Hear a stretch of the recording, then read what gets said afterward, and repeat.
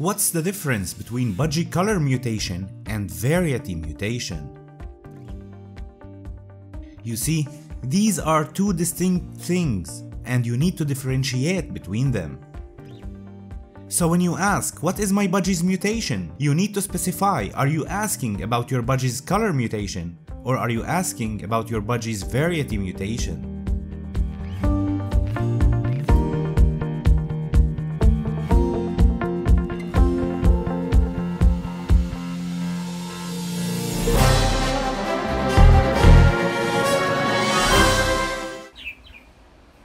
Let's understand what's the difference. The easiest way to explain the difference between the two mutation types is by comparing them to something we all know. Cars. Let's start. Let's say the animal kingdom that encompasses the whole animals in it is like machines. If we look at birds, which they are a subfamily to the animal kingdom, we can look at vehicles as a subcategory of machines, as we have computers, robots, washing machines, and so on. Then, if we look at parrots, which they are a subfamily for birds, we can compare that to cars.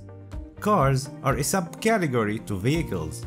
You have airplanes, trucks, bus, and so on. Cars being one of the subcategories. Then, if we dig even further, we find out that parakeets are subfamily to parrots. We can compare them to Volkswagen. Volkswagen is a subcategory that have some cars, but not all of them. It has Skoda, Polo, Passat, Golf, and so on. And finally, we get to budgies, which is one type of parakeet. And for that, if we compare to cars, we can choose one type from the Volkswagen, let's say Skoda. By the way, if you want to know what's the difference between a budgie and parakeet, I do have a video about that, I'll leave a link in the description. So finally we've reached that budgie equals Skoda. Of course don't go around riding your budgie, I don't think your bird can carry you around like your car. Anyway, let's now understand what's the difference between color mutation and variety mutation. The color mutation is basically looking only at your budgie's color. Is it yellow? Is it sky blue? Is it dark green? It's like when you go to buy a Skoda and you want to choose what color do you want your car to be. However, variety mutation is when you look at how are the colors arranged. You can have two budgies with let's say light green color, but they still look different. So with almost every mutation you can find all the colors that budgies can have. It is like getting a Skoda Fabia and then choosing what color you want. Red, green, blue maybe?